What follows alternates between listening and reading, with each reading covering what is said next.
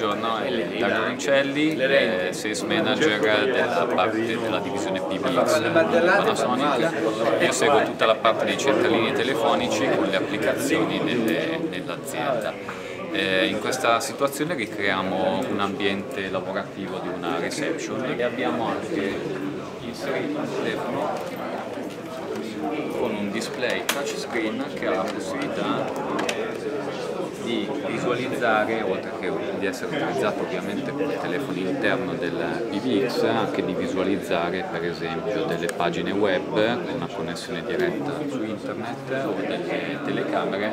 per monitorare per esempio un ingresso di una porta carraia o di una porta pedonale dell'azienda. In questo ambiente abbiamo ricostruito anche delle sale eh, interne dell'azienda come delle meeting room o delle control room dove abbiamo portato alcuni prodotti diversi. Questa è l'area dove viene replicata una sala meeting all'interno dell'azienda dove per quanto riguarda la parte PBX noi esponiamo un telefono come telefono interno del centralino e un sistema di audioconferenza che normalmente viene posizionato al centro del tavolo e permette di ascoltare, di far ascoltare a tutte le persone presenti nella stanza la conversazione in corso.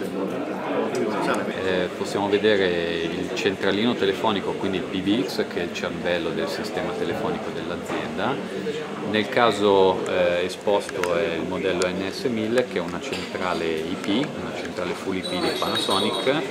alla quale fanno capo tutti i terminali che abbiamo visto fino ad oggi, fino a questo momento negli altri ambienti lavorativi, quindi parliamo di telefoni IP che sono collegati sulla stessa rete eh, alla centrale eh, full IP NS1000. In questo ambiente viene replicato un magazzino dell'azienda, eh, come terminali telefonici abbiamo anche in questo caso un telefono IP collegato al centralino e abbiamo eh, due telefoni DECT,